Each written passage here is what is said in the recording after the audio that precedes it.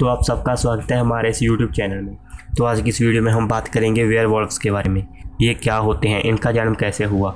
और कुछ ऐसी थ्योरीज के बारे में बात करेंगी जो वेयर की प्रेजेंस को दर्शाती हैं और दावा करती हैं कि जो वेयर हैं, वो एक कहानी नहीं है। वो हमारी असल दुनिया में भी एग्जिस्ट करते हैं। वैसे तो वेयर की बहुत सारी कहानियाँ हैं, जिनमें से एक है जो कि पंद्रह में सामने आई थी, जिसमें दो बंदे दावा करते हैं कि उन्होंने शैतान की पूजा की थी और उनके पास एक ऐसी ऑइंटमेंट या कह लो कोई क्रीम या कॉस्मेटिक जिसको लगाने के बाद वो वेयर में ट्रांसफॉर्म हो जाते थे। उसे लगाकर उन्हें कई बच्चों का, कई इंसानों का मर्डर किया था।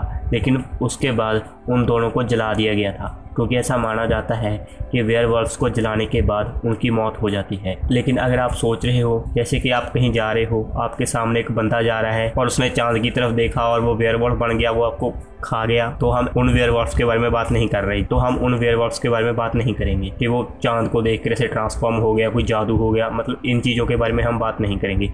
हम सिर्फ़ प्रैक्टिकल थ्योरीज हैं, सिर्फ़ उन पर बात करेंगे। थ्योरीज भी प्रैक्टिकल होती हैं। हाँ भी जैसा हो सकता है। पहली थ्योरी या कह लो कॉन्स्पिरेसी थ्योरी आती है वर्ल्ड वॉर के समय में। तो ये थ्योरी दावा करती है कि वर्ल्ड वॉर के समय कई ऐसे देश थे जिन्होंने अपने सोल्जर्स पे एक्सपेरिमेंट किया तो उन्हें सुपर सोल्जर बनाने की कोशिश की।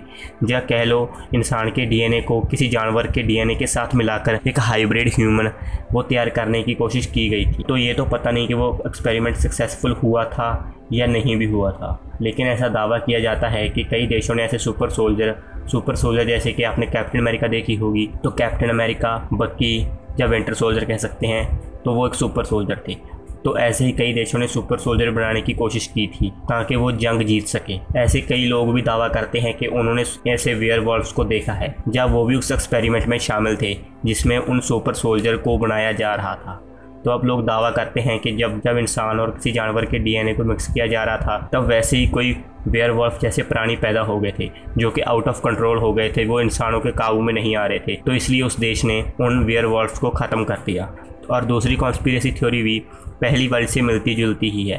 लेकिन इसमें दावा किया जाता है कि कई साइंटिस्ट ने एक एक्सपेरिमेंट किया था कई लोगों पर, जिसमें उन्होंने ह्यूमन डीएनए को डॉग्स के डीएनए से मिला दिया था और उन्हें मिलाने के बाद उन्होंने सक्सेसफुली सुपर ह्यूमन कह लो या वेयर कह लो, उन्हें पैदा कर दिया था या उन्हें बना दिया था। लेकिन किसी हादसे के कारण वेयर थे वो वो वहाँ से भाग गए, जिसके बाद उनमें से मोस्ट ऑफ़ को इन्होंने मार दिया, या कि एक्सपेरिमेंट के दौरान मर गए। लेकिन हो सकता है उनमें से कुछ बच गए हों, जो आज भी हमारे बीच कई जंगलों में या कहीं छुपे हुए हों।